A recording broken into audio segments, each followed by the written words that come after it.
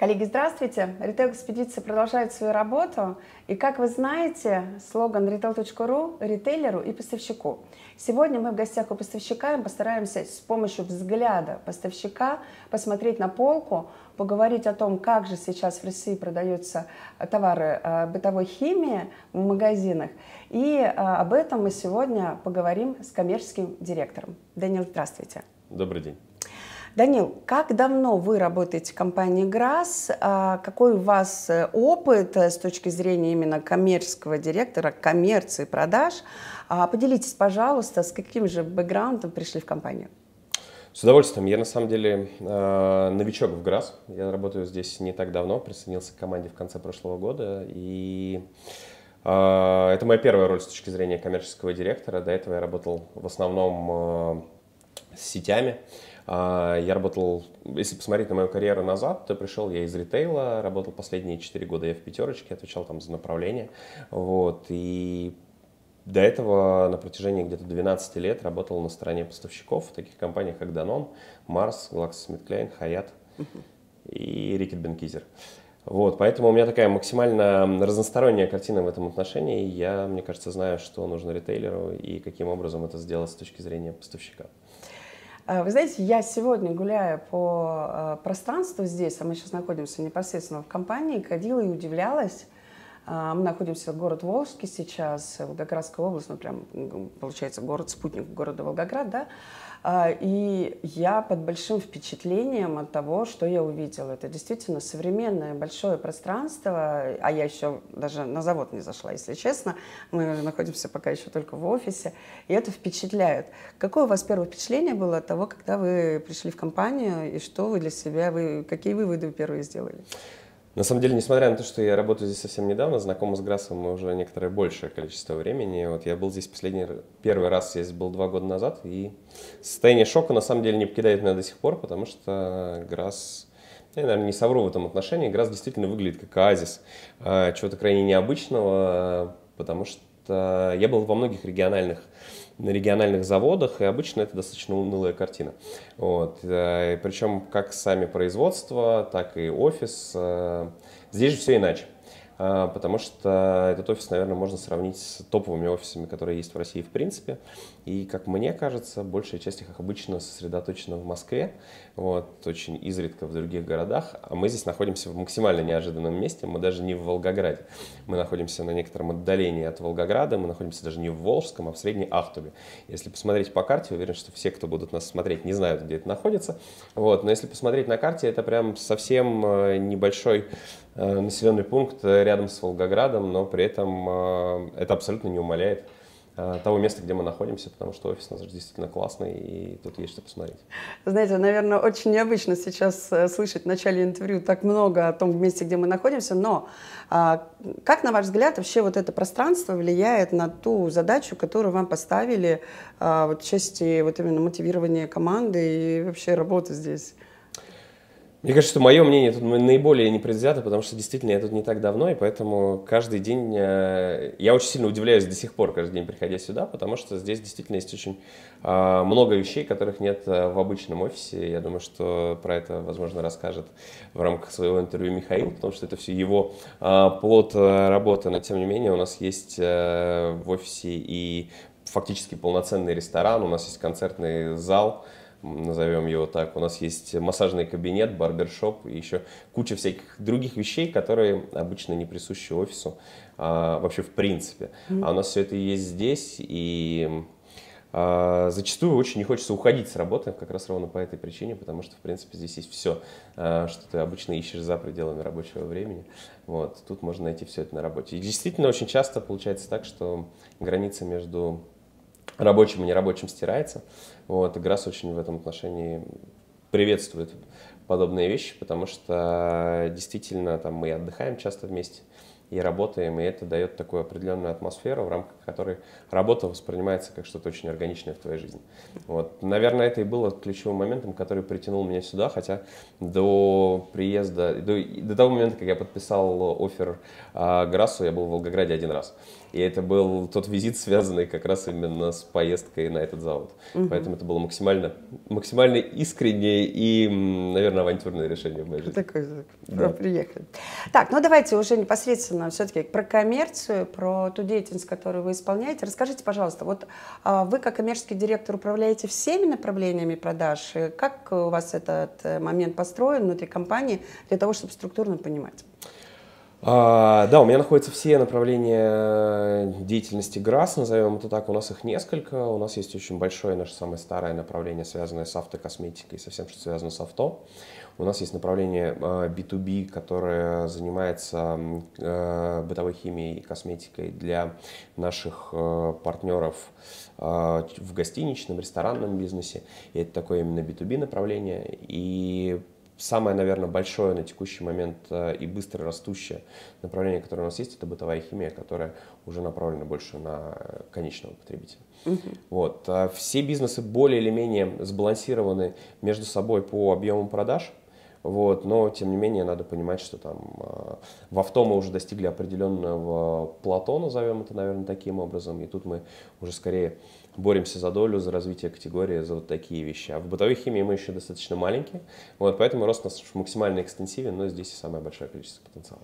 А если про цифры, с какими итогами объемы продаж закончили 23, э, ну, э, скажу, 23 год и что в первом квартале 24 23 год мы закончили с объемом в 26 миллиардов рублей товарооборота. В 24 планируем выйти на 35.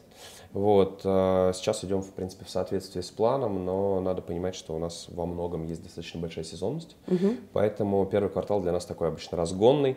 Вот. Во втором, третьем мы начинаем очень активно работать. Это связано как с погодой, так и со многими другими факторами, потому что все мы знаем, что в нашей стране в первом квартале все обычно только раскачивается, потом начинается очень экстенсивный рост. Поэтому сейчас мы входим как раз в эту очень э, горячую пару для нашей угу. компании.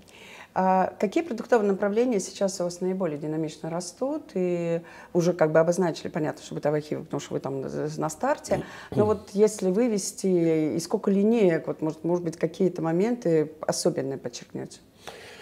А, на самом деле, если говорить про, ну, действительно, бытовая химия это то, что растет сейчас быстрее всего, и тут надо понимать, что очень много факторов на это повлияло. Там они абсолютно разные, экономические, и политические, и Сейчас такое классное время для запуска новых продуктов внутри страны, которого не было, наверное, никогда.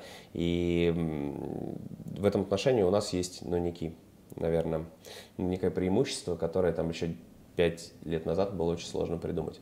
Эм, наша концепция заключается в том, что мы максимально локализуем все, что э, возможно внутри страны, и многие продукты, они абсолютно не зависят ни от каких внешних факторов, потому что мы очень, у нас максимально замкнутый круг э, внутри России, даже внутри нашего завода. Мы, например, делаем сами упаковку, все сами разливаем, у нас достаточно развитая сеть логистики, и поэтому мы наименьшим образом э, зависим от внешних факторов, которые есть, потому что все мы знаем, что а, все, кто были очень сильно подвязано какое-то внешнее сырье, или это были какие-то ограничения с точки зрения маркетинга, поддержки в других компаниях, очень сильно пострадали. И это было очень сложно с этим в последние годы. У нас существенно проще. Мы здесь работаем на своем рынке, и правила здесь а, позволяют нам делать практически все, что Получается, вы оказались готовыми, да, то есть вот той возможности, которая появилась, условно, а, вы технически и инфраструктурно оказались готовыми, и вы не упустили возможность.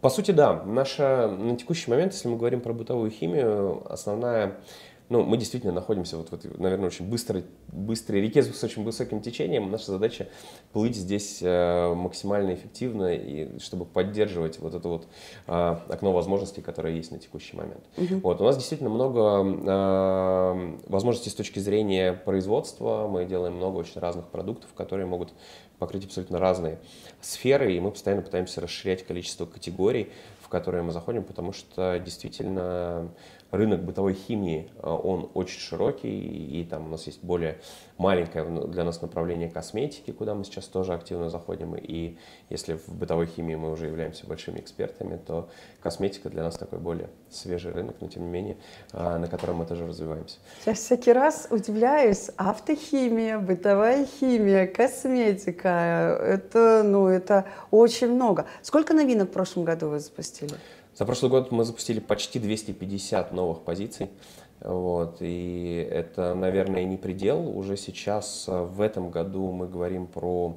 Вот уже сейчас есть 110 сформированных проектов, которые мы точно запустим в этом году. Скорее всего, в процессе они будут каким-то образом еще добавляться. Вот, потому что, ну, в чем, в чем основная прелесть ГРАС? Э, в том, что все решения а, принимается достаточно быстро, и мы можем на встрече сегодня решить, что мы туда идем, завтра уже начать активно в эту сторону работать и там спустя несколько месяцев выпустить новый продукт. И вот в этом, наверное, тоже прелесть э, ГРАС в том, что мы очень мобильны в этом отношении. Mm-hmm. Мы можем действительно быстро принимать решения и быстро запускать новые продукты под потребность рынка, под потребность ритейлера, под потребность нашего конечного клиента. Если мы видим, что где-то есть емкость, то мы можем максимально быстро в этом отношении среагировать. Нам не нужно очень долго разрабатывать а, какую-то маркетинговую концепцию, систем, программ какой-то поддержки. Мы можем сначала запустить продукт, мы вообще продуктовая компания, и это тоже очень большая прелесть. Наша задача в первую очередь создать хороший продукт, а потом поддержать его уже с других сторон. Угу. А, нередко бывает наоборот, когда сначала формируется какой-то бренд, а в рамках него ищутся потребности, куда бы он мог зайти. Вот это абсолютно не наша история. Мы фокусируемся именно на производстве классного продукта, который будет э, хорош с точки зрения своих характеристик, а потом уже думаем во вторую очередь, каким образом мы будем это дело поддерживать. Такой вопрос касаемо именно создания продукта. А, кто принимает участие в создании? То есть кто может быть инициатором его? А, то есть, условно, коммерция, которая увидела какую-то потенциально незакрытую нишу, или все-таки, не знаю, более внимательно смотрят люди, которые ездят, не знаю, в Китай или куда-то, вот подглядывают тренды. Как у вас устроен? А, сказать, что у нас есть какой-то выработанный процесс в этом отношении, можно, а, но мы очень часто от него отклоняемся. А, на самом деле потребности могут приходить абсолютно с разных сторон, там, и мы в этом отношении максимально гибки. У нас есть коммерческий отдел, который нередко приходит с какими-то запросами от клиента, с словами о том, что вот здесь есть ниша, мы можем в нее быстро зайти, и это будет на, достаточно эффективно. Плюс к этому у нас есть отдел, который занимается изучением рынка. Там мы можем посмотреть, э, куда мы можем, а, какие сегменты мы можем покрыть, даже если мы не видим это, этого снаружи, изнутри точнее, мы можем понять, каким образом мы можем а, зайти туда и начать производить продукт, который, угу. в котором есть потребность у рынка. И плюс к этому у нас есть growth команды, это вообще отдельное направление, которого нету во многих компаниях, в которых, по крайней мере, в моей карьере я не видел этого ни разу. Это команды, которые настроены непосредственно на то, что это люди, которые постоянно думают о том, что можно сделать новое, что будет востребовано. Вот. И именно они нам приносят зачастую самые а, сумасшедшие идеи, которые развивают компанию в максимально необычную сторону. Вот. А, поэтому сейчас мы действительно рассматриваем очень много продуктов, которые которых нет в нашем портфеле, но в которых есть потребность на рынке. Вот, они могут быть как очень специфические, а, как, например, мы делаем таблетки для конвектоматов, это такой очень узкий сегмент а, в B2B бизнесе, но тем не менее там сейчас есть емкость, и мы туда идем. И мы никогда бы сами бы не заметили этого с точки зрения, ну, работая внутри компании. Но при этом а, вот а, люди, которые работают с клиентами, они чувствуют эту боль и понимают, в каком месте мы можем и, и в этом поучаствовать. Плюс к этому есть какие-то крупные моменты, которые там условно есть а, сегмент с таблетками для посудомоечных машин. Он э, обладает некоторыми своими характеристиками. Это продукт достаточно дорогой, там он очень консолидирован вокруг больших игроков. И это тот рынок, на который мы можем зайти с каким-то более доступным, но при этом очень качественным продуктом. На самом деле это очень рабочая схема, мы нередко ей пользуемся, делая очень хороший по уровню продукт, но значительно более доступный. Вы уже зашли в таблетки посудомоечные? Э, мы в таблетках, э, мы на таком горячем старте, вот-вот мы сделаем продукт, который будет Ну вот хорошо, вот э, если это еще не является там условно тайной, да, в какие освободившиеся или не занятые продуктовые ниши вы хотели бы выйти в ближайшие годы? Про посудомоечные таблетки я услышу. Что еще? А, на самом деле про, таких э, ниш достаточно много, но если мы говорим про бытовую химию, то, соответственно, мы совсем скоро сделаем э, капсулу для стирки.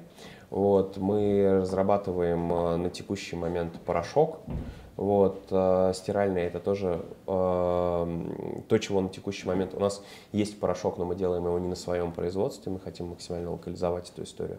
Вот, и таких сегментов очень много в каждой категории, и это действительно постоянный поиск. Вот на текущий момент э, у нас 110 ну, как я уже говорил, 110 проектов, которые уже в этом году точно случатся. А есть еще много вещей, которые находятся в разные стороны от нас, э, такие как э, мы там вполне на полном серьезе рассматриваем сейчас вариант производства влажных салфеток, потому что такая потребность тоже есть у рынка, но у нас нет пока такого производства.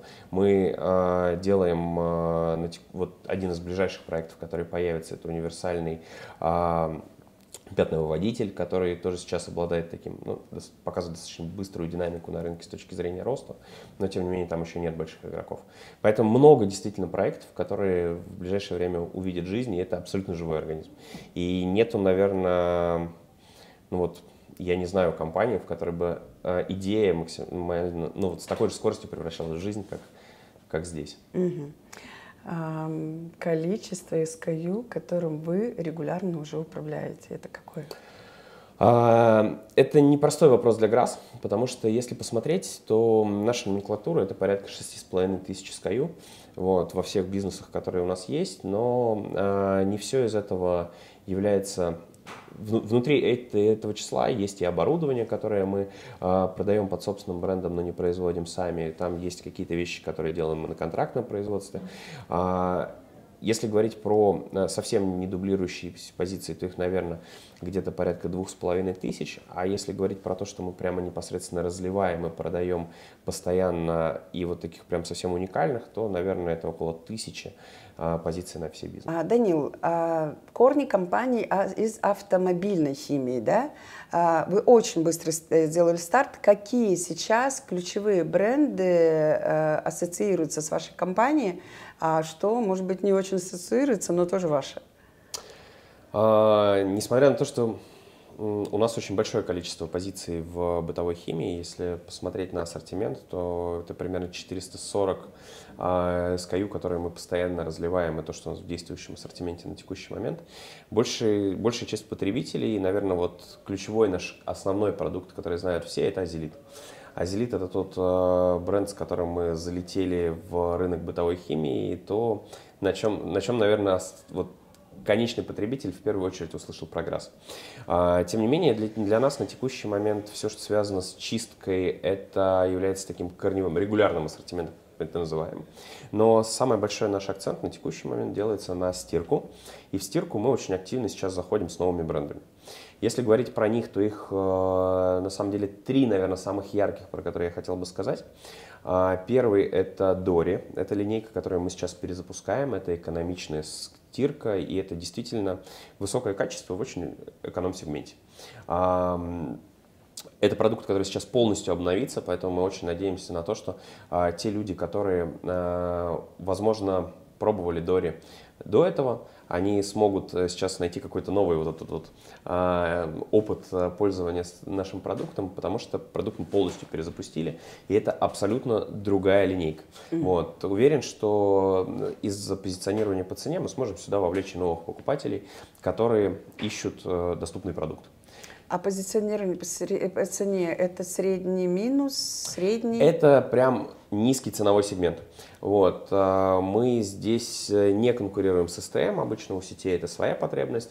Мы находимся чуть дороже, чем STM, но тем не менее даем много э, тех УТП, которые на текущий момент э, не дает никто на рынке. Э, мы взяли из турецкой практики а, опыт с парфюмированной, парфюмированной стиркой.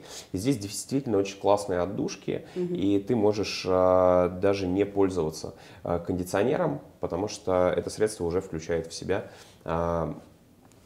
эффект, который дает кондиционер с точки зрения запаха. Uh-huh. Вот. Классный продукт. Э, ты покупаешь один продукт, тебе не нужно покупать и стирку, и кондиционер отдельно. Это что касаемо экономичного сегмента. В среднем ценовом сегменте мы сейчас заходим с брендом Crispy. Это такой хороший среднячок, действительно классный продукт по а, качеству и очень сбалансированный с точки зрения цены.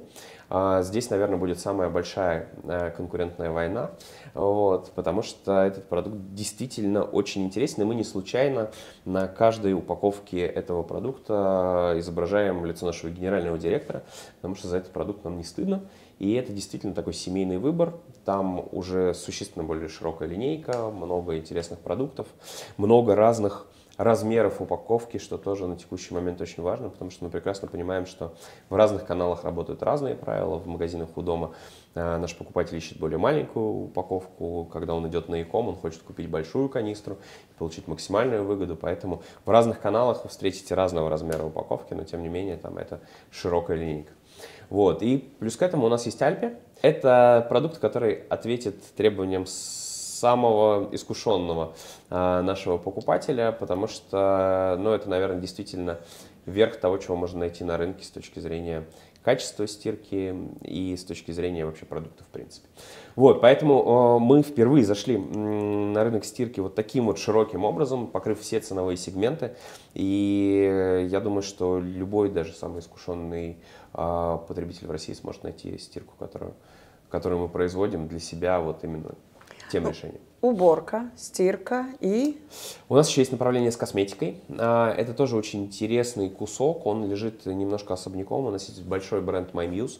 Мы на нем очень э, сильно фокусируемся. Это линейка, которая растет. Но это совсем другой бизнес.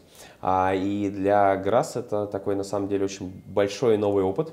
Потому что, когда ты делаешь э, продукты, связанные с чистотой, э, ключевой момент, на который опирается покупатель, связан с качеством продукта, с точки зрения его потребительских свойств и ценой, которая есть на полке. Поэтому здесь нам очень просто выигрывать, у нас классное ценовое предложение, и при этом у нас очень эм, хорошие характеристики продукта с точки зрения функциональности. То есть, если это э, будет средство для посуды, то он хорошо моет посуду, если это будет средство для стирки, оно будет хорошо стирать. Вот. И здесь важно дать хорошее качество и хорошую цену. Если мы говорим про косметику, здесь другие правила. Здесь важен бренд, здесь важно, каким образом ты его поддерживаешь, с кем тебя ассоциируют, кто у тебя э, является ну, вот этим вот opinion лидером внутри категории.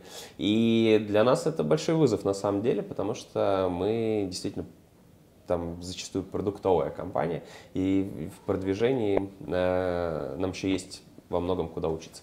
Если говорить про косметику, то нельзя не упомянуть про наш очень большой бренд, который называется Милана, потому что мы очень активно участвуем на, в рынке э, мыла, и действительно, там, если посмотреть на то, каким образом выглядят наши продажи, то самый большой косметический наш бренд это на самом деле Милана, и мы делаем а, абсолютно под этим брендом разные продукты. Это как и гели для душа, так и, а, так и мыло, так и мыло для B2B канала.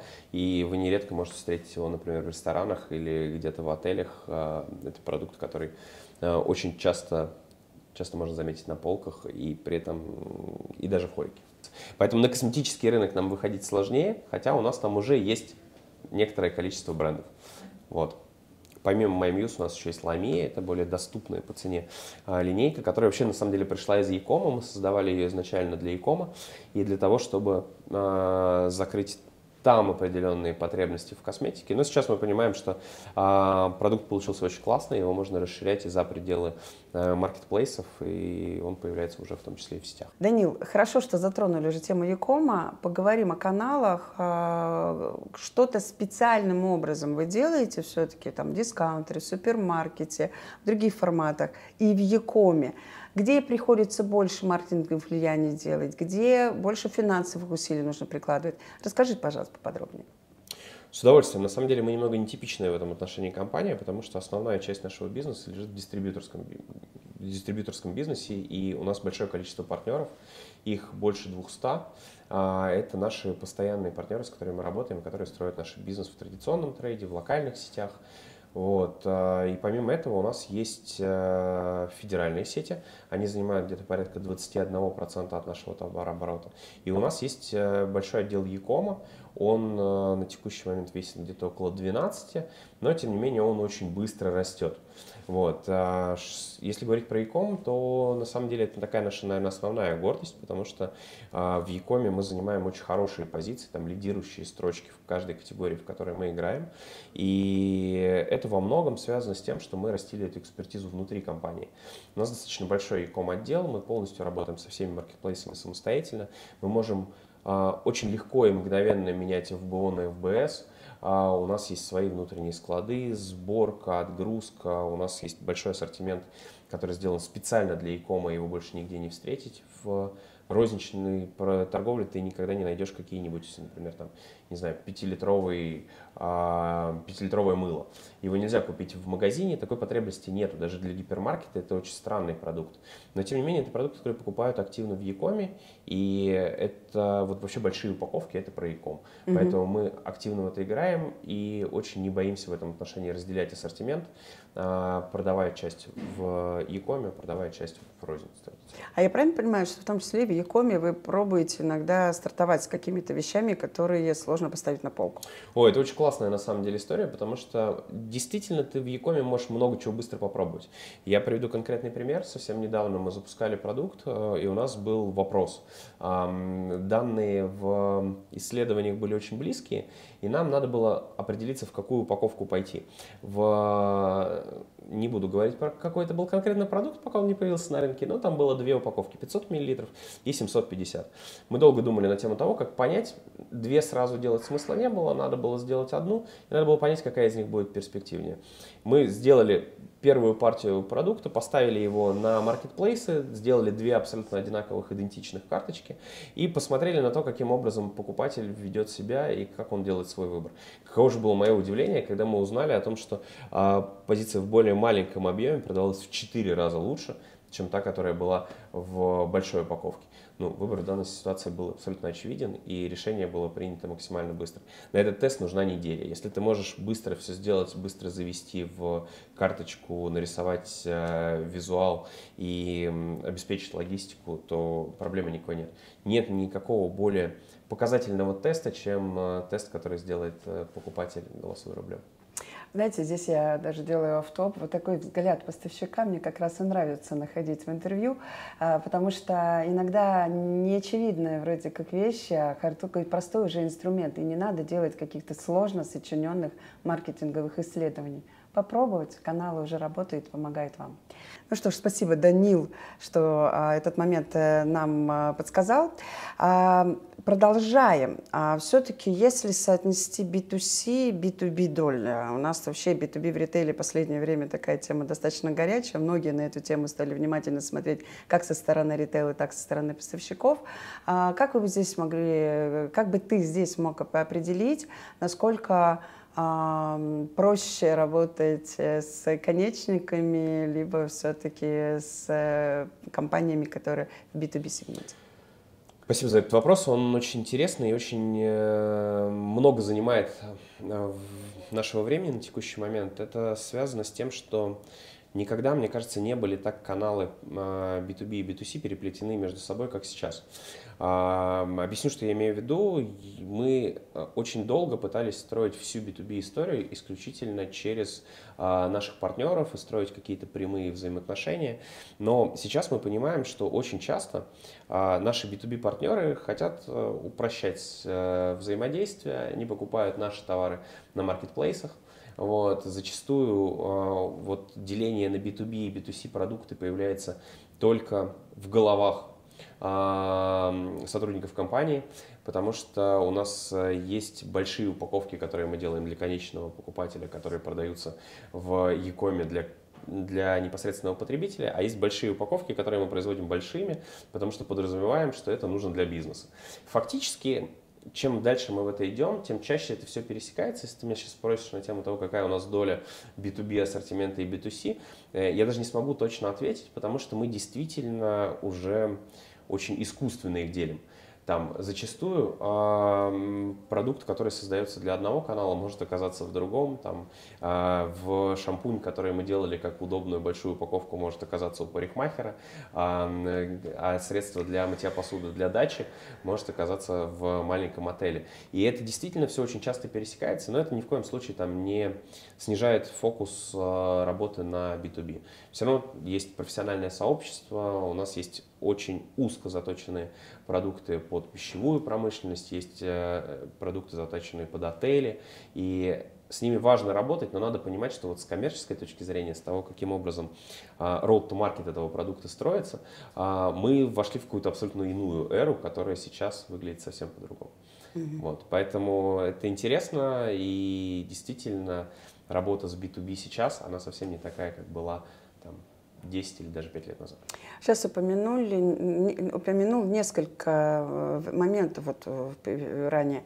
А, например, там посудомоечные машинки, э, посудомой, нет, а, таблетки для пары конвектоматов, с одной стороны, да, это у нас получается там рестораны, да? Да, а, Потом получается моменты, связанные с хорика, это там, не знаю, те же шампуньки, да, которые мы видим в гостиницах, там тоже у вас отдельная история, да. И, например, эм, чистящие средства для производственных компаний. Вот э, экспертизы для создания данных продуктов вам хватает? Откуда вы ее берете? А, в этом отношении нам очень сильно помогает то, что мы производственная компания, и мы действительно очень много чего знаем про продукт сами. У нас есть большой научный исследовательский центр, это такая лаборатория. Я надеюсь, что тебе удастся сегодня ее посмотреть живьем, потому что это выглядит так как а, ну, такой я совсем по-другому представлял себе этот отдел, а это прям реально научные работники, которые мешают составы, которые ищут то, каким образом продукт будет максимально эффективен. И у нас действительно есть во многом очень хорошая экспертиза. И надо понимать, что там, когда мы говорим про э, мытье, или очи, мытье или очистку чего-то, то все продукты, они э, отчасти похожи. Они, их дальше задача сделать только таким образом, чтобы они закрывали какую-то конкретную задачу. Но при этом к нам очень часто приходят э, наши клиенты с какими-то очень сложными запросами, которые бывают очень уникальными. И в этом случае как раз наша научная исследовательская лаборатория очень сильно нам помогает в этом отношении. А, и мы можем разработать очень сложные продукты для а, конкретного производства. Я, наверное, даже не буду сейчас уходить в конкретные примеры, но у нас настолько разнообразные это могут быть э, продукты. Э, там, мы в прошлом году разрабатывали состав для обледенения самолетов. Это может быть история с э, обработки вымени у коровы при доении, мытье полов в гипермаркете. Это может быть абсолютно разные запросы, которые, казалось бы, абсолютно никаким образом не пересекаются вместе. Но все это бытовая химия, и все это то, что пересекается внутри одной компании-производителя, которая может сделать. И вы нашли ответ. Абсолютно. И это востребовано. Это действительно востребовано, но э, тут надо понимать, что это всегда очень гибкая работа, потому что в данном случае нам нужен заказчик, которому мы сделаем тот продукт, который будет отвечать конкретно его требованиям. Это совсем другая история. Это то, чем B2B а, вот так прекрасно отличается от B2C, потому что в B2C мы все знаем, какие нам нужны продукты. А в B2B это очень часто конкретный запрос конкретного и очень узкого производителя. Еще один момент, который точно не проговорили и о чем мы не вспомнили, это СТМ. Тренд на СТМ сейчас очень активный. Как у вас в этом направлении, с кем работаете и вообще верите ли вы в то, что производитель должен заниматься, собственно, торговой маркой сетей? Смотри, это на самом деле э, тот тренд, который невозможно на текущий момент не заметить, потому что действительно СТМ растет быстрее всех. Мы, наверное, во всей аналитике, мне кажется, любую категорию, которую ты не возьми, ты увидишь самый растущий бренд внутри категории, это СТМ. А для ГРАС когда-то STM был таким табуированным достаточно вопросом. А с чем это было связано? ГРАС активно рос, объемы продаж росли, и наша основная задача была в том, чтобы производить необходимое количество продуктов под нашим брендом. Мы нередко сталкивались с тем, что мы не можем произвести столько, сколько нужно, и спрос был очень большой. Сейчас мы настолько много э, сфокусировались на расширении мощ мощностей, что у нас есть возможность сделать э, продукты не только под своим брендом. А, и в этом отношении мне кажется, что у нас есть очень большая большое преимущество перед многими производителями. Во-первых, у нас очень технологичное оборудование, а, и мы можем производить действительно много и хорошего продукта. Фактически, если посмотреть на запрос сети, он в основном именно в этом и заключается. В том, что нужен, э, нужно иметь возможность подтвердить достаточно большие объемы, нужно иметь возможность сделать качественный продукт и сделать это достаточно по хорошей цене. А, Все это есть у Граса. У нас есть много мощностей, за счет объема мы э, и своего продукта, и продукта, который мы можем сделать по ДСТ, мы можем снизить а, затраты. И плюс к этому мы действительно не боимся объемов. У нас есть не одна площадка, мы активно развиваемся с точки зрения производства, и очень многие продукты можем сделать в действительно больших объемах, даже для самых больших сетей. Uh-huh. А, удовлетворен ли я тем, каким образом на текущий момент выглядит ситуация с системой? Однозначно нет. Мы только сейчас заходим в эту игру, и конкретно сейчас это очень большой приоритет для моих команд, которые занимаются работой с сетями. Вот. Мы можем э, сделать очень большой ряд продуктов, которые находятся в, в потребностях STEM в, у сетей, и действительно там ограничений здесь практически никаких нет. А еще одно направление, которое как-то незаслуженно мы забыли в начале, и точно надо напомнить, фирменная розница. Хм. У вас есть э, ведь э, а-ля фирменная розница или все-таки настоящая фирменная розница? Как вы обозначите ее? Это наша большая гордость, на самом деле. У нас э, на текущий момент, мы недавно смотрели эти цифры, у нас 177 магазинов, а, которые работают под брендом Grass. Это магазины, которые... На самом деле в них очень интересно ходить. Потому что я каждый раз, заходя в нашу собственную розницу, задаю вопросы нашим покупателям, зачем они приходят в магазин а, непосредственно ГРАС, они входят в стандартный гипермаркет, где можно купить большую часть ассортимента. И мы постоянно слышим ответы на эти вопросы о том, что вот самые наши лояльные покупатели, которые непосредственно ищут продукты ГРАС и уже убедились в их качестве, им интереснее прийти в магазин, где есть только наш товар, и купить его там, получить гарантированно не подделку. Это, кстати, тоже большой вопрос, который, э, во-первых, существует на рынке, а во-вторых, очень тревожит наших покупателей о том, что они купят продукт, которым будет написано ГРАС, но при этом он не будет произведен. А подделки есть? Да, подделки существуют. Вот, когда вы приходите в наш фирменный магазин, вы уверены на 100%. Плюс к этому здесь есть тоже момент, который на первый взгляд не видно. А, приходя в магазин ГРАС, ты э, общаешься не с продавцом, который продает все, а с продавцом, который очень хорошо разбирается в продуктах, которые тебе нужны. И очень часто к нам покупатели приходят за тем, чтобы получить какую-то экспертизу. Я не знаю, у них есть какое-то пятно, которое они не могут оттереть. Им нужен какой-то продукт под какую-то определенную задачу. И приходя в гипермаркет, тебе эту экспертизу ниоткуда не получить. Это странная тема, но на текущий момент э, многим э, вот эти вот очень простые вопросы некому задать что чем постирать, что чем оттереть. И это вроде маленькие вещи, но э, зачастую нам нужен какой-то эксперт, который бы мог в этом отношении нас поддержать. Поэтому сеть собственной розницы мы развиваем. В этом году мы откроем еще порядка 80 магазинов. Наша цель довести э, цифру до 250. И э, действительно уже сейчас эти магазины можно встретить в очень большом количестве регионов нашей страны, и они действительно растут. Средний чек там достаточно хороший. Мы продаем там в среднем на 500-700 рублей – это вот средний, средний чек нашего покупателя. То есть мы понимаем, что он покупает у нас не одну позицию. Там, в, учитывая среднюю стоимость наших продуктов, это чаще всего какой-то именно пакетная история, что он покупает одно для одних задач, другое для других и собирает из этого такую общую корзину. Uh-huh. А, поэтому мы будем развивать это направление, оно для нас важно и оно позволяет нам как раз не только дотягиваться до нашего конечного потребителя и слышать в том числе его обратную связь, но и предложить ему вот это вот качественное комплексное предложение, которое... Я очень есть. люблю смотреть магазины. Если мы говорим все-таки про представление бренда в фирменной рознице, как вы могли обозначить, достаточно ли его?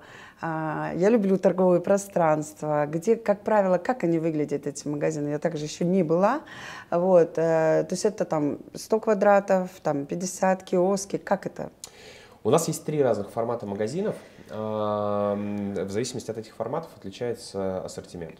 Но надо понимать, что даже самый большой из этих магазинов никогда не будет сравним с, даже с магазином у дома.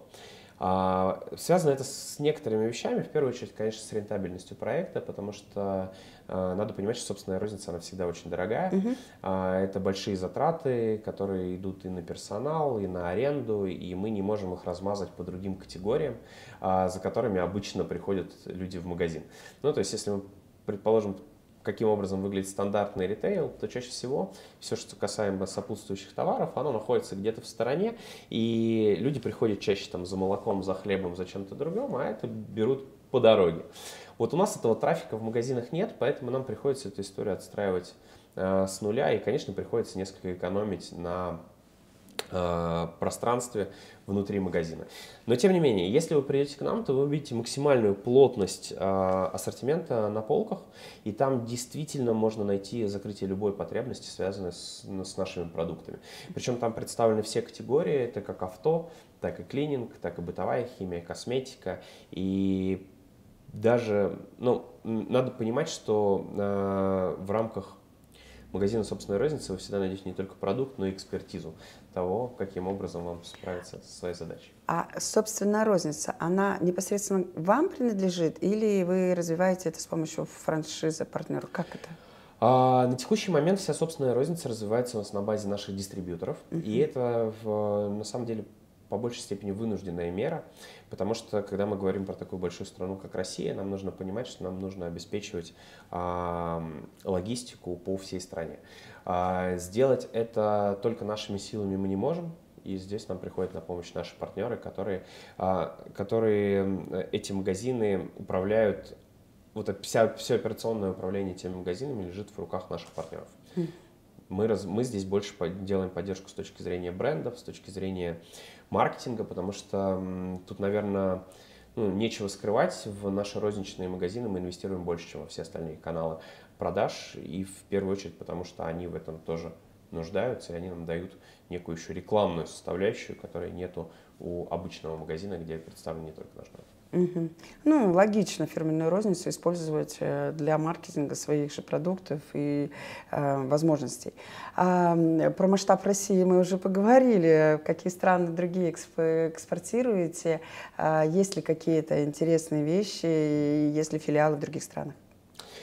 А, Последняя, последняя политическая ситуация сильно сковывает нас с точки зрения развития за пределами России, но тем не менее мы не останавливаем наши планы. У нас есть филиал а, в Китае, у нас а, мы сейчас строим завод на территории Узбекистана, у нас есть большое направление в Турции. И мы постепенно идем на разные рынки. А, но это непростая история, потому что нужно понимать, что потребность везде немного разная, и масштабировать бизнес нужно в этом отношении а, под задачи конкретного а, рынка и конкретного трейда, потому что надо понимать, что ритейл, он везде очень разный, и во всех странах он не такой, как, как у нас. А то, где мы наиболее сильны и где наша основная экспертиза лежит, это все-таки Россия и СНГ. Вот, поэтому на этих странах мы фокусируемся То есть больше Беларусь, всего. Казахстан? Беларусь, Казахстан, Узбекистан э, – это вот основные направления, на которые мы фокусируемся. Мы не случайно сейчас открываем свою производственную площадку, потому что а, покрывать а, вот нижнюю часть СНГ э, достаточно непросто с нашего завода, который находится здесь, поэтому мы ищем там дополнительную производственную площадку. Плюс к этому какие-то продукты мы производим в Новосибирске, что-то мы производим в Китае, и э, действительно у нас достаточно много таких центров производства, которые находятся по всему миру.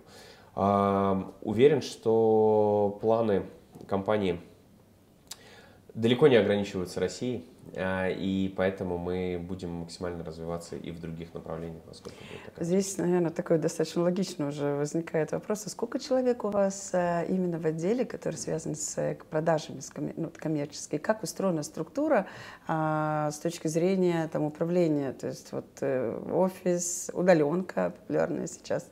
Если говорить про коммерческий отдел, то в нем э, трудится где-то порядка 300 человек. И это очень разные люди. А, у нас есть пять э, распределенных отделов продаж, которые занимаются своими задачами. Это отдел клининга, отдел бытовой химии, отдел авто, плюс к этому есть отдел сетей и отдел Яком, которые занимаются всеми тремя направлениями. Это такие пять крупных команд. А, плюс к этому у нас есть команда Customer сервиса, которая помогает нам с точки зрения обработки всех заказов, которые mm-hmm. есть у нас внутри. Вот если очень крупными мазками, то коммерческий департамент в основном состоит вот в такой структуре. И действительно у нас очень большое количество сотрудников, которые работают удаленно. Мы очень стараемся централизоваться вокруг э, нашего главного офиса в Волгограде, но это достаточно сложно. Мы понимаем, что там большое количество наших заказчиков находится в Москве, поэтому у нас есть достаточно большой офис в Москве, там работает около 50 человек. Вот, плюс к этому у нас есть офис в Екатеринбурге, и у нас есть много региональных сотрудников, их порядка 60, которые трудятся в тех местах, э, где непосредственно находится наш, э, наш потребитель, наши основные контрагенты, наши дилеры. Вот. А, поэтому, да, у нас довольно большой отдел, мы работаем сквозь все часовые пояса, которые есть в России. И там, где у нас нет э, офисов, мы работаем на полной удаленке. Вот. А, если коротко, то структура выглядит таким А на какой эти платформе сейчас автоматизировано и чем, ну, что помогает вам все-таки всех увязывать в единой системе. В единой ли системе работаете? А, да, мы работаем на 1С ERP. Вот, а, сейчас как раз проходим а, процесс эм, интеграции и перехода из одной системы в другую. А, это интересный процесс, он связан с большим количеством вызовов, которые а, должна пережить компания, но надо понимать, что это очевидно даст нам очень ощутимый шажок с точки зрения э, оптимизации и вот диджитализации наших процессов, которые есть внутри. Вот, это конкретно то, чем мы сейчас занимаемся, и то, что занимает очень большое количество нашего внимания. А если мы говорим про вот важную, не менее важную составляющую маркетинговые акции, вообще маркетинг, он, э, вы, как бы, он параллельно коммерции внутри, это обычно очень такой сложный момент, там, маркетинг важен, чтобы продажи были, продажи важны, чтобы маркетингу можно было денег давать на маркетинг акции. Как вы этот момент могли бы для себя определить с одной стороны, а с другой стороны, насколько э, много вы делаете маркетинга, чтобы в итоге продажи более активно шли? То есть и процессы, и результат. А, начну, наверное, немножко со стороны. У нас очень необычная в этом отношении структура. У нас нету такого а, напрямую выделенного маркетингового отдела, какие-то есть в большинстве компаний. А, у нас есть sales команда и есть growth команды, которые занимаются развитием определенных направлений. Это не прямой маркетинг в том виде, в котором мы э, привыкли об этом думать. Это скорее история про создание и поддержание жизненного цикла продуктов. А почему так получилось? Потому что ГРАС а, это производственная компания, и мы очень про продукты. И для нас действительно самое, наверное, интересное для всех внутри это создавать новые продукты, закрывать новые потребности. И Поэтому мы очень центрированы вокруг продуктов. Поэтому у нас есть growth команда, которая занимается не рекламой и маркетингом, а скорее всем жизненным циклом продукта, которые есть. То есть это люди, которые участвуют в э, создании продукта с момента формирования потребности до того момента, когда когда мы его выводим с рынка. То есть это люди, которые живут с этим продуктом на протяжении всего времени, мы придумываем с ними идею, они работают с производством, разрабатывают формулу, разрабатывают программу продвижения э, и работают со всем, что связано с рекламой. Причем я говорю здесь как про там какой-то инстор маркетинг, так и вещи, связанные с медиа. Вот. Эти же люди работают с амбассадорами, эти же люди работают с расширениями линеек, и это такая, ну, действительно нестандартный подход. Вот. А, мы к нему пришли э, через опыт, вот, и действительно он тоже очень оказывается жизнеспособен, хотя и очень нестандартен для FMCG рынка. Mm-hmm. Вот. Плюс к этому у нас есть отдел трейд-маркетинга, который находится на стыке, э, на, на стыке маркетинга и э, sales. И это как раз та команда, которая умеет переводить а, из языка маркетинга в коммерческий язык те задачи, которые перед нами стоят. Еще много желтых ценников приходится делать сейчас э, в магазинах для того, чтобы, ну, в данном случае, если мы говорим про сети, все-таки ритейл для нас чуть ближе, чтобы действительно полетели продажи или достаточно уже становится знание продукта? А, без желтых ценников никуда. Это надо понимать, что внутри категории бытовой химии все настолько привыкли к тому, что все покупается со скидкой, что угу. даже, зачастую даже сама скидка не так важна, а, как факт ее наличия. Вот. У нас а, очень гибкий в этом отношении подход. Мы очень слышим ритейлера относительно его стратегии. Кто-то сейчас идет в EDLP, кто-то идет в High-Low. Это действительно модели, которые важны для той или иной сети, для того, чтобы поддерживать ну, скорее свое CVP. Мы в этом отношении очень гибки и можем э, играть как так, так и так, но наше ключевое, э, ключевой э, момент, в который мы верим, в том, что мы должны быть доступны. Угу. И э, независимо от того, через какую механику это будет, вы найдете наш продукт по лучшей цене, в сети среди всех остальных конкурентов. И вот это вот является для нас очень большим приоритетом. Для того, чтобы наши продукты были доступнее, доступнее конкурентов и при этом отвечали всем требованиям качества. Поэтому, наверное, коротко отвечу так. Мы играем по правилам, которые а, которые диктуют ритейлеры, но наша задача немножко в другом. Наша задача в доступности качественных продуктов. Уверена, что перед вами немалые там амбициозные задачи со стороны руководства. Как эти задачи проецируются в итоге на э, коммерческий департамент, которым вы управляете, и вот во что вам сейчас приходится, как, вернее, вам приходится вдохновлять коллег, э, на какие задачи, какие решения? Если говорить про 2024 год, то он, наверное, в основном для нас про эффективность. Потому что мы понимаем, что все предыдущие годы мы создавали очень много продуктов, а, у нас очень большой ассортимент, и мы сейчас занимаемся тем, что хотим сделать его максимально емким, потому что понимаем, что таким количеством номенклатуры, таким количеством э, позиций управлять уже очень сложно. Поэтому мы сейчас смотрим на то, как сделать так, чтобы а, наши действующие линейки были максимально эффективны, вот. Но, тем не менее, а, у нас была возможность запускать новые. Мы действительно идем в огромное количество новых категорий. Эти новые категории, новые продукты, новые бренды, много чего хочется запустить. У нас а, стартует новое производство, на котором есть новые возможности. И для того, чтобы всем этим управлять, нам нужно, нам нужно немножко оптимизироваться. Поэтому мы сейчас очень много говорим про то, каким образом сделать бизнес таким, таким чтобы он был максимально а, чтобы он показал стабильный рост. А, мы в этом году договорились о том, что мы будем расти чуть-чуть поменьше, чем мы могли бы расти, но при этом сделаем так, чтобы все было устойчиво, чтобы все было стабильно, и у нас, э, на нас не влияло никаких а, внешних опасных факторов. Вот, поэтому мы будем много расти, много, активно с точки зрения новых позиций, нового ассортимента, вот, э, и делать это очень качественно. А количество людей, 300 человек сейчас, э, предполагается ли расширение команды? А, нет, мы не планируем расширять нашу команду в ближайшее время, если мы говорим непосредственно про коммерческую команду. Вот, мы сейчас пытаемся посмотреть на это немного по-другому, какие-то части коммерческого, коммерческой структуры мы хотим диджитализировать, сделать возможность ну, чуть-чуть больше уйти здесь в Яком. У нас есть э, собственный интернет-магазин, который может продавать больше. И больше того, мы видим, что рынок очень сильно меняется в этом отношении. Что-то можно уже делать э, не руками, а за счет э, технологий, в том числе электронной торговли, какой бы она, какой бы она ни была, потому что она же тоже бывает очень разной. Данил, спасибо. И я предлагаю вам сделать некоторое такое пожелание себе, команде и вообще рынку, возможно, вот для вас камера. А, вы знаете, я люблю такую вот финалку делать. И вот такой вот у нас взгляд поставщика получается. А, пожелайте, пожалуйста, себе. Может быть, потом посмотрите, что же получилось. Слушайте, я желаю всем э, в этом году шире посмотреть на то, что находится вокруг вас, потому что зачастую мы привыкли мыслить какими-то определенными шаблонами, работать с одними контрагентами, смотреть как работодатель для себя одну компанию.